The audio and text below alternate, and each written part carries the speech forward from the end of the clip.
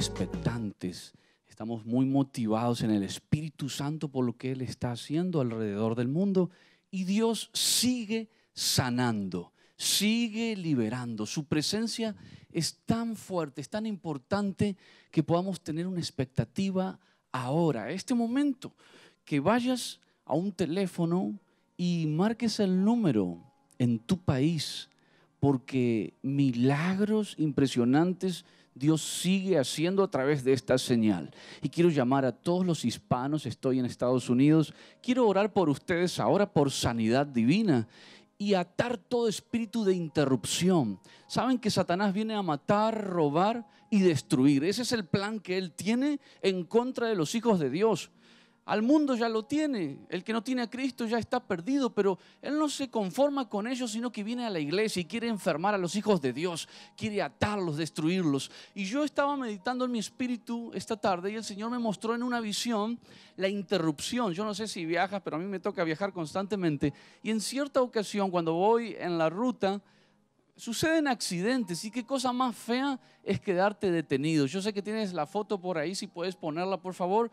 Imagínense que en el mundo espiritual cuando el enemigo viene y nos quiere detener, nos quiere atar, nos quiere destruir, no quiere que lleguemos al destino. Yo quiero que identifiques ahora en qué área estás perturbado, atado, detenido e interrumpido, porque todo poder demoníaco que ha venido a interrumpir el matrimonio, que ha venido a interrumpir la salud en tu cuerpo físico, que ha venido a interrumpir el destino que Dios tiene para ti ahora va a tener que ser derrotado en el nombre poderoso de Jesús. Y sabes que esa viuda que había fallecido su esposo en Segunda de Reyes 4 y su vasija había quedado con un poquito de aceite y dice que los acreedores habían venido a buscar a sus hijos porque querían cobrarse la deuda que ella tenía. Los acreedores en, en muchas ocasiones vienen y quieren destruirnos, quieren atarnos, quieren robarnos la bendición.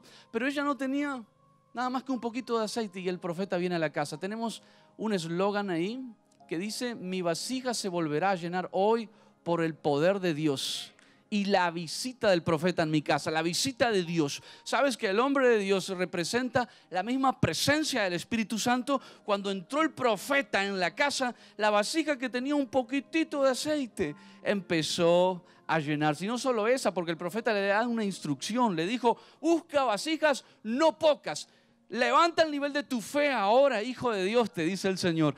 Busca vasijas no pocas. Vuelve a llamar de una manera insistente. Levántate ahora porque aunque hubo interrupción y había poquito aceite en tu vasija y los acreedores que representan la enfermedad, el dolor, el cansancio, el desánimo, yo no sé cuáles son esos acreedores que vienen a buscar a tus hijos para esclavizarlos. Tus hijos puede ser economía, salud, puede ser matrimonio, puede ser un destino, pensamientos. Acá la viuda dice, los acreedores vienen y quieren llevarse a mis hijos esclavos. Pero el profeta de Dios entró a la casa y a esta hora la unción entra a tu casa. Yo quiero que agarres un teléfono y marques el número en tu país. Llamo a México y digan en el nombre de Jesús, aunque me había quedado poco aceite en mi vasija, poca fuerza, yo creo que ahora el hombre de Dios está hablándome de parte de Dios y el Señor dice, busca vasijas no pocas, vuelve a creer no de manera escasa, vuelve a creer con fe que yo lo voy a hacer. Y dice que cuando pusieron las vasijas, el aceite empezó a vertir del cielo,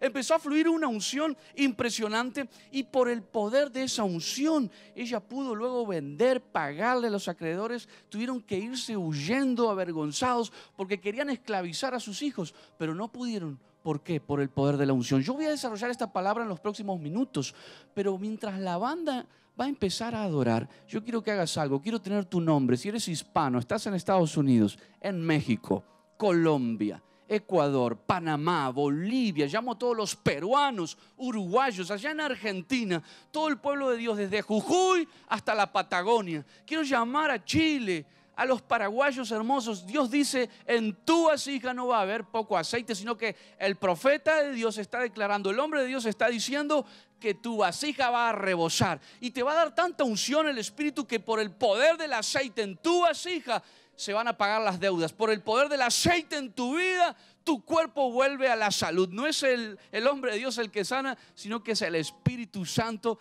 que va a derramar esa fresca unción. Vamos, llamo a Estados Unidos, llamo a toda Latinoamérica, a los ticos, todo Costa Rica, las siete provincias al teléfono. Vamos a comenzar a adorar. Yo pido al Espíritu Santo que entre ahora desde su trono y este estudio va a ser como un conecte en tu casa para que milagros sucedan. Y aunque hay, poco aceite en la vasija de muchos, yo creo que ahora se va a llenar en el nombre de Jesús. Vamos a adorar y vamos a los teléfonos.